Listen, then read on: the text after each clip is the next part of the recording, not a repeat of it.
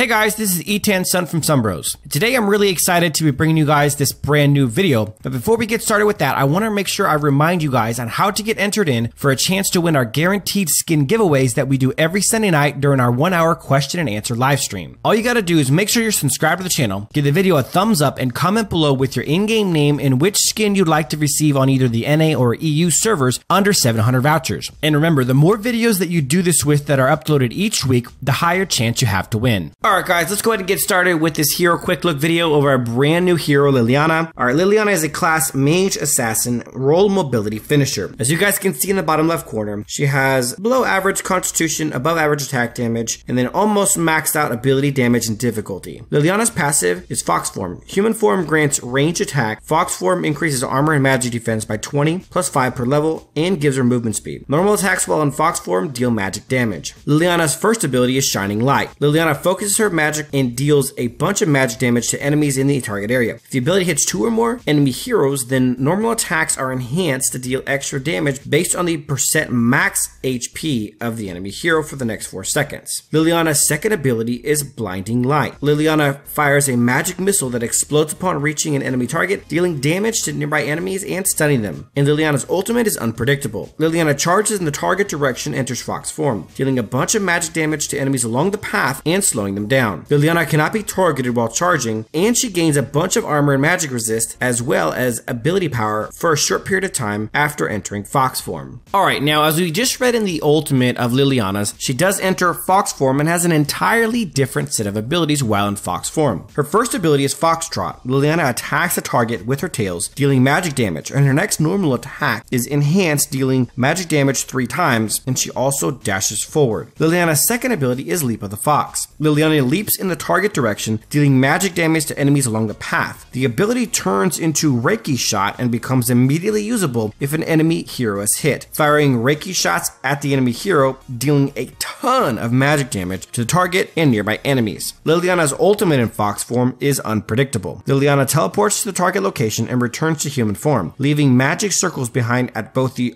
origin and the destination locations that reduces the movement speed of enemies inside the circles. Additionally, the circles explode after one second, dealing a lot of magic damage, and Liliana cannot be targeted while teleporting, and she gains ability power for a short time after entering human form. Alright guys, next we're going to be going over the pros and cons on Liliana. These are her strengths, things you're going to want to focus on if you're playing as her, and things you're going to want to avoid if you're playing against her. Liliana's first pro is her incredible survivability, especially when you consider that she's a mage. Liliana's passive Fox form gives her magic defense and armor starting at 20 and going up 5 per level for a total of 95. Additionally, when Liliana enters Fox form, she gains an additional 240 armor and magic defense at level 3, giving her a total of 335 magic defense and armor for the first 2.5 seconds that she's in Fox form. Because the cooldowns start at 7 seconds on her ultimate and it's so low, a little bit of cooldown reduction gets you even lower and you can pretty much go back and forth from human and Fox form, gaining that extra magic defense and armor whenever you like. And what makes her survivability even better as a mage is her second pro that we're going to be talking about right now. Liliana has incredible mobility for a mage as she's able to dash an amazing three times between both forms. And I know what you're thinking, three dashes, that's crazy for a mage, but it gets better. Not only does she have three dashes, two of those dashes are actually her ultimate that she can do back and forth between human and fox form, and she becomes completely untargetable while she's dashing with her ult in both forms. Alright, and moving on to Liliana's third pro, and that's her incredible damage potential. Liliana is a really solid bursty mage, and that's only including her human form. While her first and second ability in human form are skill shots, they both do a pretty decent amount of damage, especially her first ability, Shining Light. In Fox form, her first ability, Foxtrot, does a pretty good amount of damage also, but it definitely is not the star. The star in Fox form is her second ability, Leap of the Fox, which once she dashes through an enemy hero, can then turn into Reiki Shot, which deals an absolutely insane amount of damage if you land it. And when you learn to put her human form and fox form abilities together in beautiful synchronized symphony, it'll do an incredible amount of damage that will leave your enemies wondering what the hell just happened. Alright, in Liliana's fourth and final pro is that she has a really deep kit potential. What I mean by that is that because she has six total abilities and they're such low cooldowns, the amount of things that you can actually output as Liliana is extremely vast and the potential is sky high.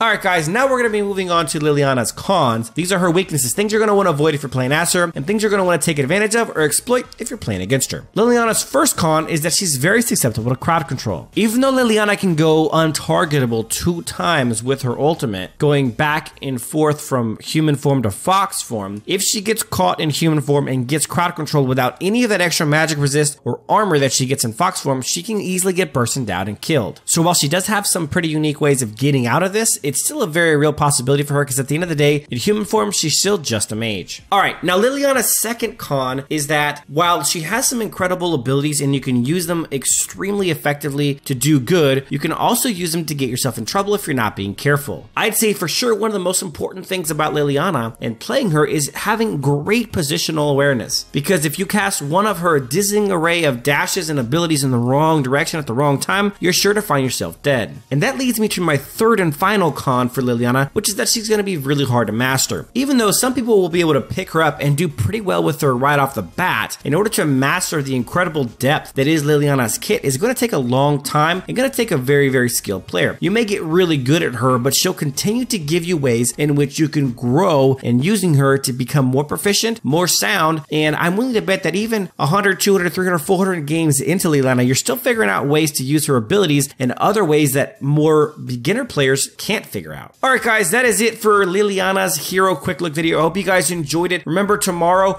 we're going to be putting out an incredible, amazing, phenomenal how to build video on Liliana so you guys can get the best Sunbros build as always. So stay tuned. Thanks for watching, and as always, till next time.